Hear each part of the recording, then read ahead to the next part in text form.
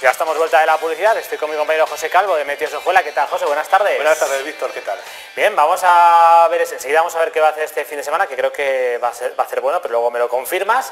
Pero si te parece, vamos a recordar todavía esas imágenes de nieve que alguno de tus colaboradores ha podido captar a lo largo de estos días. Sobre todo en este extraño invierno que la nieve se, le cuesta dejarse Sí, ver. se está dejando- Pero sí, efectivamente, eh, a lo largo del fin de semana, después de la entrada de aquella borrasca de Gloria que nos trajo ese temporal de levante, esos frentes que llegaron a La Rioja y dejó una nevada bonita a lo largo prácticamente de toda la semana, con nieve, no solamente en cotas altas de montaña, como las que, estamos viendo ahora, de Cristina Ortega desde el puerto de, de Santa Inés, sino que también llegó la nieve a cotas bajas. Pues este era el fin de semana, este era el fin de semana de subir a zonas altas para poder ver la intensidad de la nevada, además coincidió con una mejoría del tiempo extensible y ya te digo, Cristina se subió a la zona de Santa Inés y nos eh, enviaba estas imágenes invernales de, de ca- casi canadienses, ¿no? Sí, sí. Y además que estábamos un poco ya olvidados de ellas porque ya está siendo un, un invierno un poco suave. Esta otra imagen es de Alejandro desde Ojacastro, se puede ver al fondo el San Lorenzo, abrió por fin la, la estación de Valdezcaray y no sé si va a durar mucho, pero bueno, ahora vamos a hablar.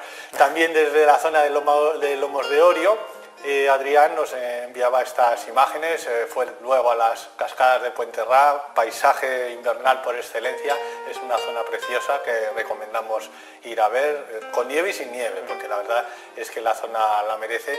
Miguel, ya te digo, desde la zona de Valdezcaray, fíjate qué fin de semana más bueno, para inaugurar eh, esta temporada con esas nubes altas, esas estelas que se pueden ver en los cielos y la buena nevada que hay, no solamente en Valdezcaray, sino que, que vemos el resto de zona montañosa también con esa nieve acumulada. La Si queremos que- ver nieve, ¿podemos todavía ver algo de nieve o no? Si alguien que este fin de semana quiere aprovechar y ver algo de nieve. Todavía se puede ver nieve, lo que pasa es que ya en cotas altas, porque está siendo una semana especialmente cálida. Ahora vamos a ver el porqué. Eh, fíjate en esta animación de, de masas de aire del satélite Meteosat. Siempre, otras veces hacemos referencia a esas ma- manchas moradas, que en esta ocasión están en latitudes muy altas, que hace referencia a las zonas de aire frío que generan borrascas y situaciones de bajas temperaturas. Sin embargo, esta semana está predominando ese color más verde.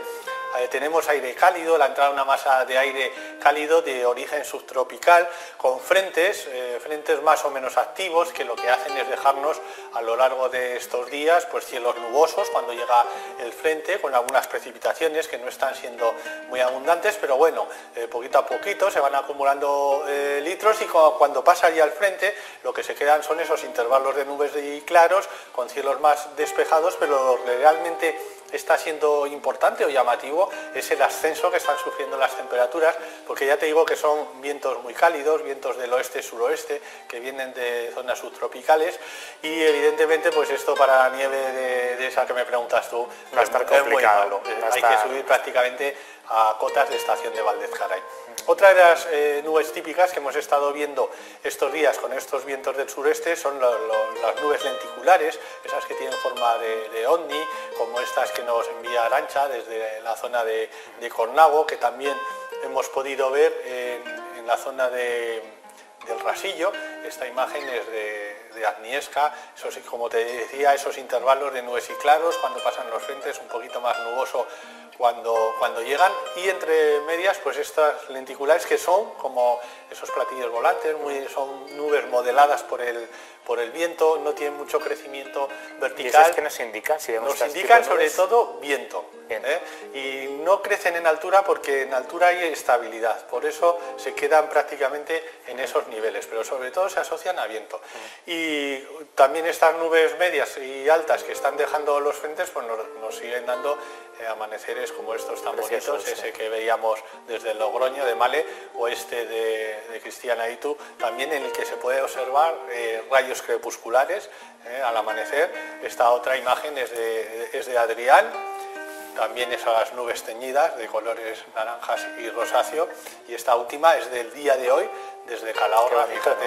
Parece que está pintado, ¿eh? Sí. Emilio es un artista de los amaneceres, ya lo hemos comentado, prácticamente todos los fines de semana traemos algo para ver de Emilio, así que... Pues gracias a Emilio y a todos los colaboradores de Meteos Ojuela que nos muestran estas instantáneas tan preciosas de nuestra comunidad. Y ahora sí, ¿qué vamos a poder o qué vamos a tener este fin de semana? Pues de, como decía el otro día los chavales del Instituto Valle de Loja en Santo Domingo, vamos a pasar del invierno a la primavera prácticamente en una semana.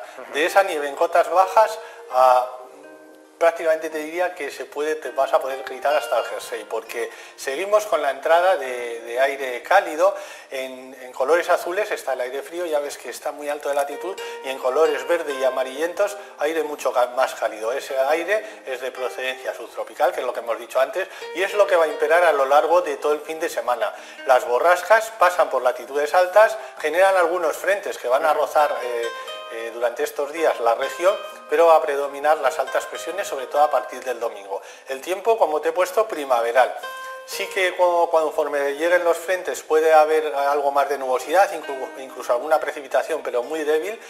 Las temperaturas van a ser entre 8 y 10 grados superiores a lo habitual. Fíjate que estamos hablando que sobre todo el domingo se pueden alcanzar temperaturas de 20 grados de máxima en el valle, realmente cálidas, y en los cielos pues nubes y claros, poquita cosa. Ya te digo, cuando llegue el frente un poquito más de nubes y cuando pase el frente menos nubosidad, pero en general va a ser un fin de semana primaveral de temperaturas muy agradables y para disfrutar, para ir al campo y para si se puede subir a lo que quede de nieve, cada día menos pues eh, desgraciadamente se va perdiendo esa nieve, la hemos visto muy poquito. Muy poco, muy poco. A ver, este si, a ver si vuelve en febrero. Esperemos, esperemos que todavía quede algún coletazo invernal. A ver si podemos ver más nieve. De todas maneras, saben, se pueden acercar hasta la estación de Valezcaray y disfrutar un poco de, de lo que queda de nieve en la Rioja. En cualquier caso va a hacer buen tiempo para viajar a lo largo de nuestra comunidad, disfrutar de la naturaleza y ya saben, en el blog de nuestro compañero, en Meteos Ojuela, cada día esa previsión del tiempo, esas curiosidades y lo que podemos ver en el cielo riojano. José, que pases un buen fin de semana, disfruta, aprovecha el buen tiempo. Pues hasta la semana que viene, Víctor. Nosotros nos despedimos ya de Conexión Rioja esta semana. Ya saben que la información continúa en la cadena COPE a las ocho y media. Más noticias con nuestra compañera María Mabe. Yo les veré a las 9 en La Rioja.